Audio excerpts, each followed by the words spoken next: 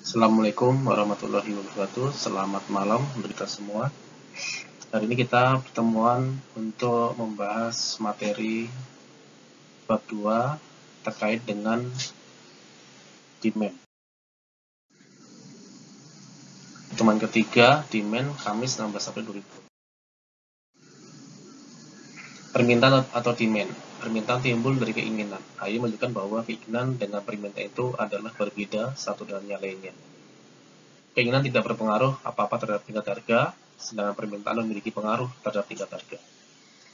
Kemudian permintaan adalah keinginan yang disertai dengan kesediaan serta kemampuan untuk membeli barang yang bersangkutan. Artinya, konsumen memiliki keinginan, kemudian keinginan timbul dari permintaan Kemudian dengan adanya keinginan, kemudian kemampuan untuk membeli, maka konsumen akan membeli suatu barang atau mengkonsumsi barang yang diinginkan. Permintaan atau demand di sini adalah gambar pengaruh harga terhadap jumlah produk.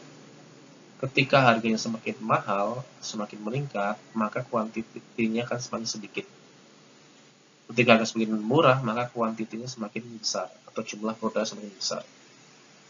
Perubahan harga dari P1 atau price 1 ke price 2 atau harga murah ke harga mahal sebesar delta P atau perubahan price atau perubahan harga. Dan perubahan jumlah produk yang diminta dari kuantiti 1 ke kuantiti 2 sebesar delta Q atau perubahan delta Q, perubahan Q. Perbandingan perubahan harga delta P dan perubahan jumlah produk yang diminta, delta Q disebut koefisien arah atau gradient atau slope. Secara matematis, jumlah permintaan atas suatu produk dapat dirumuskan sebagai berikut. QD sama dengan A min BB. QD jumlah barang yang diminta, A konstanta atau permintaan otonom, kemudian B koefisien arah garis kurva atau tingkat sensitivitas harga produk terhadap jumlah produk yang diminta, P adalah harga. Dan B slope sama dengan delta QD dibagi dengan delta P. Daftar permintaan adalah suatu tabel yang memberi gambaran angka-angka tentang hubungan antara harga dan jumlah barang yang diminta masyarakat. Contoh tabel 2.1, permintaan terhadap barang X berbagi tingkat harga. Dalam keadaan A, harga 4000, maka permintaannya adalah kuantitinya 400. Kemudian dalam keadaan B, harganya 5000, maka kuantiti, kuantitinya menurun menjadi 200. Ini gambaran dari pengaruh harga terhadap permintaan. Jadi kemampuan dari konsumen untuk membeli barang tersebut. Kurva permintaan, di mana dengan menggunakan data yang terdapat dalam tabel tersebut, kita dapat membuat kurva permintaan di mana suatu kurva yang menggambarkan sifat hubungan antara harga suatu barang tertentu dengan jumlah barang yang diminta para pembeli. Gambar kurva permintaan terhadap barang X berbagi tingkat harga. Ketika kuantitasnya adalah 200, maka harga dalam ribuan itu B atau 5000. Ketika kuantitasnya 400, harga barangnya adalah 4000. Jadi ketika harga lebih murah, 4000 misalnya, maka kuantitasnya lebih banyak 400 unit.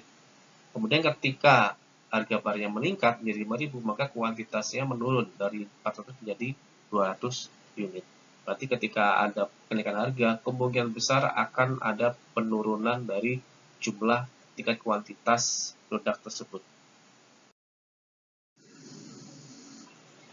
Analisa kurva permintaan. Sesuai dengan kurva permintaan, maka arah garis kurvanya dari kiri ke atas ke kanan bawah. Hal ini menunjukkan koefisien arah garis atau slope menjadi negatif. Misalnya titik A ke titik B. Slope sama dengan delta Q dibagi dengan delta P. Jadi perubahan quantity dibagi dengan perubahan harga. Sama dengan 200 dikurangi 400 dibagi dengan 5000 dikurangi 4000 sama dengan minus 200 dibagi dengan 1000 sama dengan minus 0,2. Jadi perubahan dari delta Q yang awalnya 200 menjadi 400 dan delta P dari 5000 menjadi 4000 dan dikurangi 4000. Kemudian kita diminta untuk membuat persamaan untuk permintaan dari data tersebut. P dikurangi P1 dibagi dengan P2 dikurangi P1 sama dengan Q dikurangi Q1 dibagi dengan Q2 dikurangi Q1.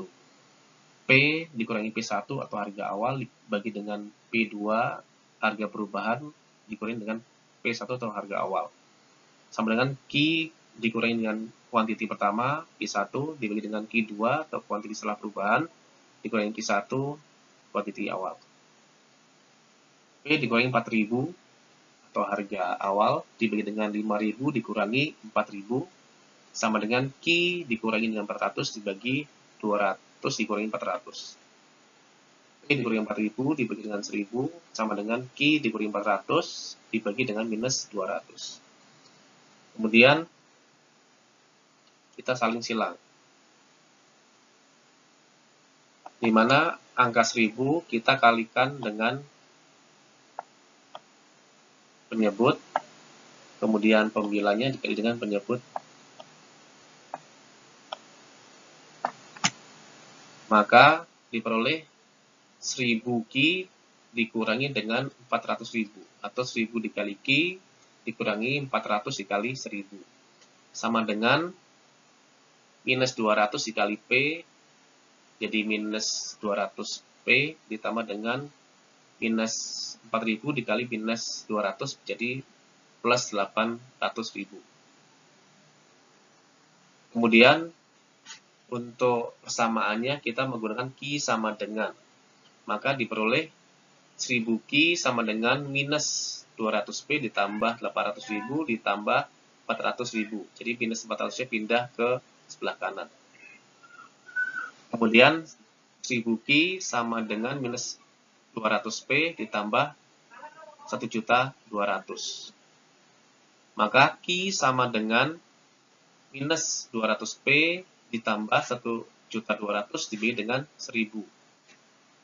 Q sama dengan minus 0,2P ditambah 1200 atau kita membuat fungsinya sama dengan Q sama dengan 1200 dikurangi 0,2P. Ini sebagai fungsi permintaan berdasarkan data sebelumnya, maka fungsi permintaannya adalah Q sama dengan 1200 dikurangi 0,2P. Jadi ketika nanti kita menghitung berapapun P-nya, berapapun Q-nya, kita bisa ketahui berapa sih perubahan dari masing-masing variabel tersebut. Ini adalah gambaran dari kurva permintaan di mana menggawe kurva permintaan sebagai berikut. Kita anggap misalnya jika P sama dengan 0, maka Q-nya berapa? Q sama dengan 1200 dikurangi dengan 0,2P. Q sama dengan 1200 dikurangi 0,2 dikali P. P-nya berapa? 0. Dikali dengan 0. Jadi sama dengan 1200. Jadi artinya ketika harganya 0, maka kuantitinya adalah 1200. Atau jika P0, maka Q-nya 1200. Jika Q sama dengan 0, maka P berapa? Q sama dengan 1200 dikurangi 0,2P. Q-nya 0 sama dengan 1200 dikurangi 0,2P. 2P dipindah, luas ke kiri. 0,2P sama dengan 1200. Maka P sama dengan 1200 dibagi 0,2. Sehingga diperoleh P sama dengan 6000. Jadi artinya ketika Q sama dengan 0, maka harganya atau P-nya adalah 6000 rupiah. Ini adalah fungsi dari permintaan atau demand ketika kita memasukkan P-nya, maka kita bisa ketahui, mengetahui jumlah Q-nya Kemudian ketika kita memasukkan jumlah Q-nya, kita bisa mengetahui berapa nilai P-nya. Di sini kita punya satu fungsi yang bisa digunakan untuk memprediksi berapa quantity atau price-nya jika ada perubahan di masing-masing variabel tersebut. Demikian materi yang bisa saya sampaikan. Untuk selanjutnya, teman-teman mengerjakan latihan satu di mana ada data permintaan produk Indomie pada tahun 2018 di mana keadaan A pada harga 2.500 maka permintaannya 5 juta karton. Kemudian keadaan B ketika harganya 4.000 rupiah permintaannya menjadi 3 juta karton. Hitunglah dari data tersebut A fungsi permintaan, B hitunglah kuantiti jika price-nya 0 dan hitunglah price jika kuantitinya sama dengan 0. Kemudian yang C Hitunglah kuantiti jika price-nya Rp5.000 dan hitunglah price jika kuantitinya 6 juta karton. Oke, mungkin itu saja. Terima kasih semuanya. Selamat malam. Sedikit kuat, jika salah diperbaiki, jika gagal dicoba lagi, jangan takut untuk dikomentari. Jadi tetap hidup dalam pikiran positif, selalu bahagia. Semoga kita diberikan kesuksesan dan kesehatan, dijauhkan dari segala mara bahaya. Terima kasih, selamat malam. Wassalamualaikum warahmatullahi wabarakatuh.